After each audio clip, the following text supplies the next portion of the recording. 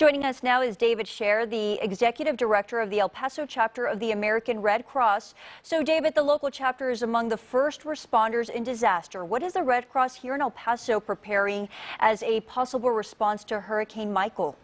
Well, thank you, Natasha. It's a pleasure to be here with, with you, you know, again.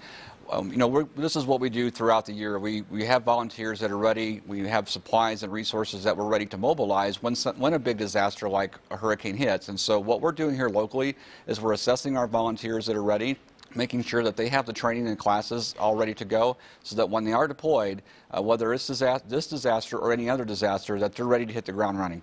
All right, you said in an email to us earlier today that the focus is currently on southern New Mexico and El Paso, and that's due to the Pacific Hurricane Sergio, which Robert has said is going to bring us rain this weekend. What's the response for that? Mm-hmm. Well, we're also monitoring Hurricane Sergio, and, and we, in fact, I just got an email uh, about 20 minutes ago from El Paso County Emergency Management. We're continuing to monitor. We, you know, it could uh, have as much as five to seven inches of rain. It just depends on how it's going to track over the next couple days. And so we're also monitoring the availability of our volunteers and resources we need, particularly if we might have to open a shelter, and identifying some some areas within El Paso, Dona Ana, and Hudspeth counties that might be higher risk areas, higher risk areas than others. Is there any training that goes on locally before you guys head out? Well, most of our disaster volunteers have a number of required training classes that they have to take. Um, so it, it, takes a couple weeks to get all those in.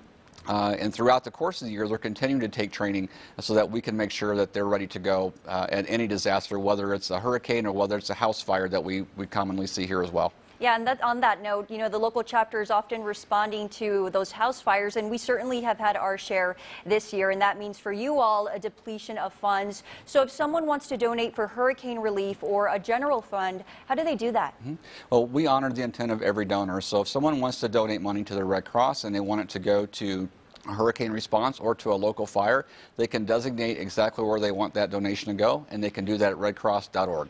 All right, David, thank you so much for being with us today. Thank you.